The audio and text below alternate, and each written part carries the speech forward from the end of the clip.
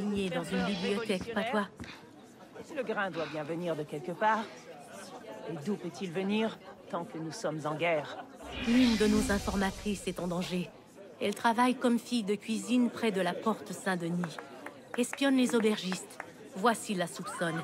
Et en cas de danger, aide-la à s'enfuir.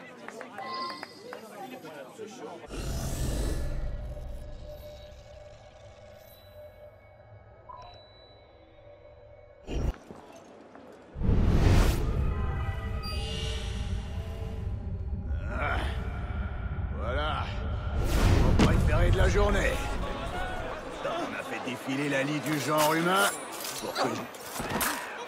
Tu n'es pas un patriote.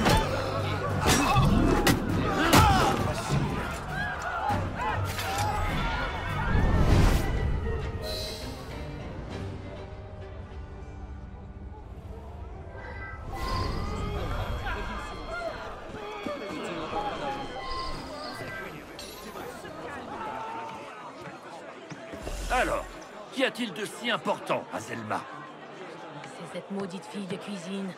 Claude a dit qu'il avait vu cacher un message sous un pavé. Je ne m'attendais pas à ce que cette souillon sache lire.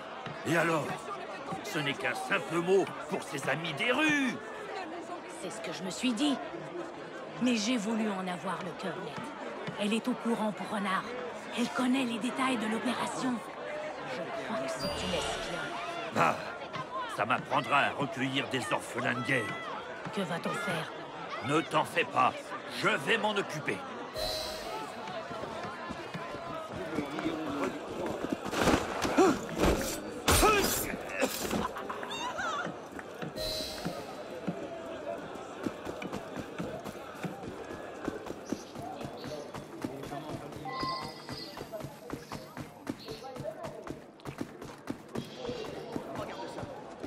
Quand tout à coup il disparaît.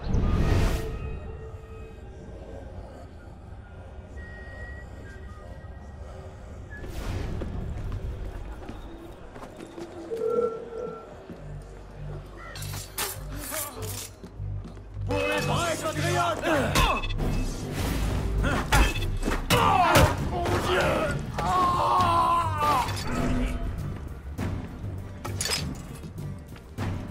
vu